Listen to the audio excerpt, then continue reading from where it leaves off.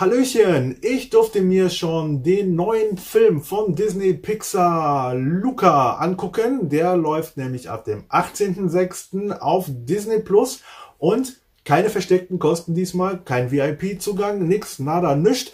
Für alle Disney Plus Abonnenten ist dieser Film ab 18.06. frei verfügbar. Der Film hat eine Lauflänge von circa 95 Minuten und jetzt will ich euch noch mal kurz was zur Story des Films verklickern. Hauptschauplatz des Films ist ein kleiner Küstenort an der italienischen Riviera. Hier erlebt der kleine Luca zusammen mit seinem besten Freund den Sommer seines Lebens, voller Eis, Pasta und Vespa-Fahren. Doch über all dem Spaß liegt ein tiefes Geheimnis. Die beiden sind Seemonster aus einer Welt, die unterhalb des Meeres liegt und ausgerechnet das Dörfchen, das sie sich ausgesucht haben, um an Land zu gehen, ist ähm, ja eher so dafür bekannt, Seeungeheuer zu jagen. Also im Prinzip ist das Ganze eine ziemlich spannende Geschichte, besonders für die äh, kleineren Zuschauer. Und ja, bevor ich jetzt noch weiter ausschweife, ich möchte zum Film auch nicht viel spoilern. Es wird übrigens wieder ein äh, Linas Filmecke gemeinsam mit meiner Tochter erscheinen äh, jetzt die Tage, also äh, bleibt dran, ne?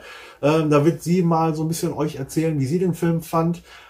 Und aber jetzt komme ich erstmal zu den für mich Minuspunkten des Films. Die kann man allerdings auch an einer Hand abzählen. Ähm, ja, so der Humor, der in dem Film war, der hat ja nicht so immer gezündet. Manchmal hat man so gedacht, ja, hm, okay, das war jetzt also witzig. Bitte lachen Sie jetzt.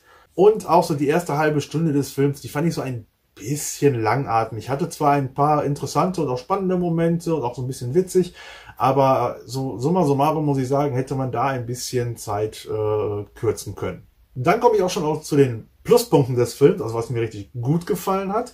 Natürlich, man ist es ja inzwischen trotzdem gewohnt, aber ich finde es immer wieder erwähnenswert. Also Pixar ist ja wirklich eines der Animationsstudios, die richtig gute Animationen hinbekommen. Ähm, auch hier, dieser Film macht keine Ausnahmen. Die Animationen sind wieder richtig, richtig, richtig toll geworden. Der Film ist natürlich genau auf die Zielgruppe, also auf die jüngeren Kinder ähm, angepasst, äh, was man den Film natürlich auch als Erwachsene negativ ab äh, ja, äh, ansehen könnte. Aber ich tue es nicht, wenn man sich darauf einlässt, auch auf dieses ähm, Niveau der kindlichen Erzählweise, dann hat man in diesem Film wirklich auch seinen Spaß. Von daher für mich ein Pluspunkt. Auch das Drama, was zwischendurch in diesem Film hier ähm, äh, vorkommt und auch hervorgehoben wird, das ist wirklich kindgerecht umgesetzt, so dass Kinder das auch, äh, auch die jüngeren Kinder das nachvollziehen und verstehen und miterleben können. Was ich auch mega lustig fand in diesem Film, war der Kater. Äh, der hatte zwar nicht viele Szenen, aber äh, die, die er hatte, die waren wirklich sehr, sehr cool und das hat mir wirklich, fand ich, fand ich besonders her, äh, hervorhebenswert an dieser Stelle. Und äh, ja, weiterer Pluspunkt, der Schluss, der war nochmal richtig schön spannend, obwohl eigentlich ja klar ist, wie so ein Disney- und Pixar-Film ja äh, ausgeht. Dennoch ähm, war der Weg dahin zum Teil wirklich, das Finale war schon spannend und äh, teilweise auch dramatisch umgesetzt. Den Schluss, den fand ich auch ganz cool. Ich denke, ich kann es sagen, ohne dass es ein Spoiler ist, weil es ist ja nun mal ein Disney-Pixar-Film, also es ist wirklich ein rührendes Happy End hier in diesem Film und das hat mir auch äh, ziemlich gut gefallen.